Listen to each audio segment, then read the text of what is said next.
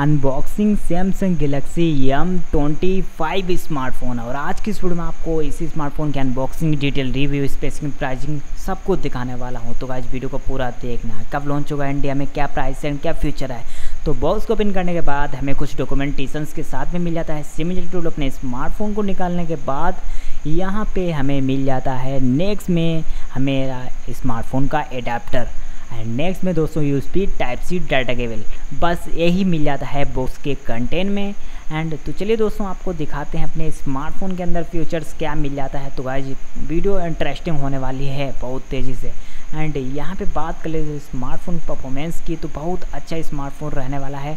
And दोस्तों, जो कि हमें मिल जाता है six point seven five inches की यहाँ पे डिस्प्ले रहने वाला है। सुपर अमोलेड डिस्प्ले का पैनल और इस फ़ोन जो रहने वाला है, बहुत अच्छा स्मार्टफ़ोन देखने के लिए मिल जाता है, जो कि आप अपने स्मार्टफ़ोन को मैनेज कर पाएँगे दोस्तों बहुत तरीके से। एंड दोस्तों, ये स्मार्टफ़ोन आपको बता दूँ 120 हर्ट का रिफ्रेश रेट आपको इस फ़ोन के अंदर मिल जाता है।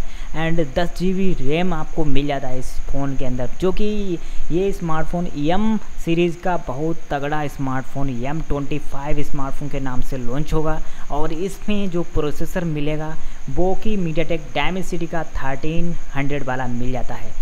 एंड ए स्मार्टफ़ोन में 108 मेगापिक्सल का यहाँ पे कैमरा मिलने वाला है। वो भी मैं आपको भी बताने का कैमरा कैसे प्रकार का मिलेगा।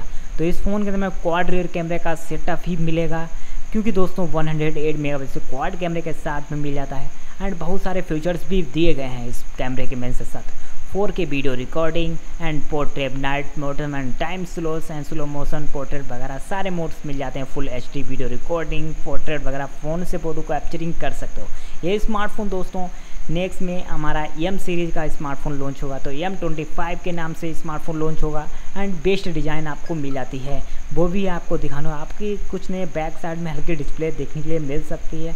एंड इस फ़ोन के अंदर में पाँच एम की बैटरी नहीं, बल्कि पचपन सौ एमएच की बैटरी मिड डायमेंसिटी का थर्टीन हंड्रेड वाला chipset and five G smartphone देखने के लिए मिल सकता है। तो आपसे कोई और वीडियो में मिलता हूँ, तब तक की कोशिश, सलाम, जय हिंद बंदे मातरम दोस्तों।